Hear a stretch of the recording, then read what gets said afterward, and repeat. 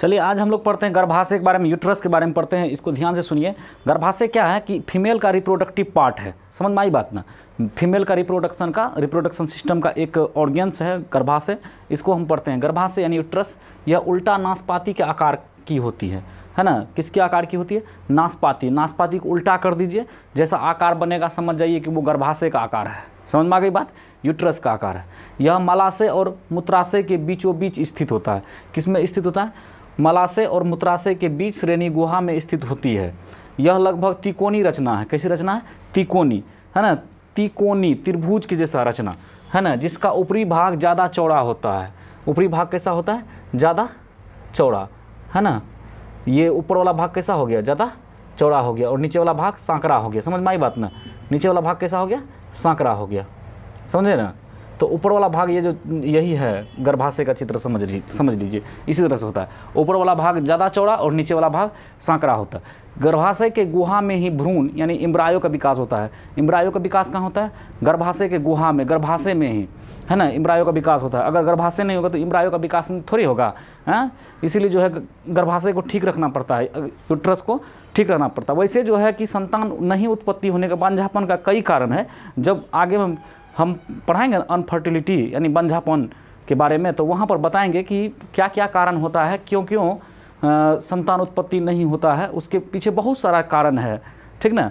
कभी जो है कि समय पर जो है कि मासिक चक्र नहीं होता है, कभी जो है कि फोलोपियन ट्यूब ट्यूब काम नहीं करता है हाँ कभी यूट्रस की दीवार जो है वो ठीक ठाक नहीं होती है तो बहुत सारा उसके पीछे रीज़न है, वो आपको हम बताएँगे। फ़िलहाल अभी ये देखिए कि इम्ब्रायो का विकास कहाँ होता है? गर्भाशय के गुहा में ही इम्ब्रायो का विकास होता है। और समान स्थिति में यह सात से आठ सेंटीमीटर लंबी होती है। आपको पूछा जाएगा कि समान स्थिति में गर्भाशय की लंबाई कितनी होती है? तो सात से आठ सेंटीमीटर, सात से आठ सेंटीमीटर।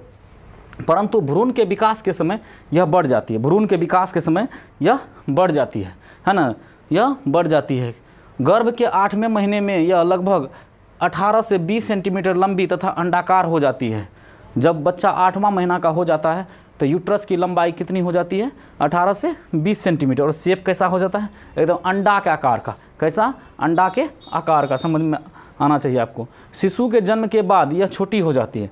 शिशु के जन्म के बाद यह छोटी हो जाती है। लेकिन एक बात का ख्याल रखेंगे आप, है ना? शिशु के जन्म के बाद जो छोटी हो जाती है, फिर वो सात से आठ सेंटीमीटर लंबी नहीं रहती है। कुछ बड़ी रह जाती है है ना? कुछ क्या रह जाती है? बड़ी रह जाती है। है ना? ऐसा नहीं समझेंगे कि जो जन्म के बाद शिशु का जन्म हुआ, फिर वो जो है सात से आठ सेंटीमीटर लंबाई में आ जाएगा। ऐसा नहीं होता है। समझे ना? वो फिर कुछ बड़ी रह जाती है। ठीक है?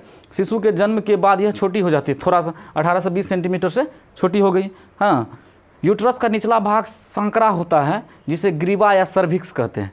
ग्रीवा या सर्भिक्स कहते हैं। ग्रीवा या सर्भिक्स कहते हैं। सर्भिक्स के, सर्भिक्स नीचे की ओर योनि में खुलता है। किसमें खुलता है? वैजाइना में है ना?